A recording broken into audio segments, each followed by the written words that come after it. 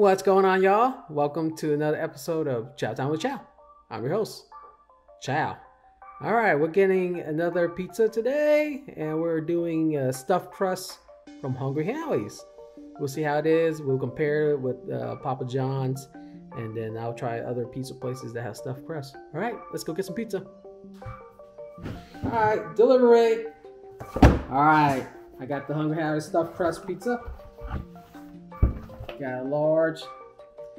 Look at that thing.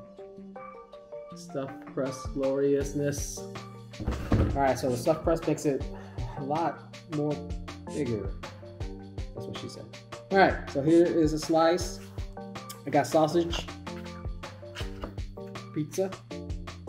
Ooh, the cheese is falling off. Oh man, it's hot. Look at that glorious stuffed crust pizza. It looks kind of hollow. But here it is.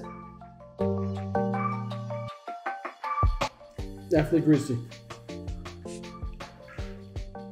There we go, we got it.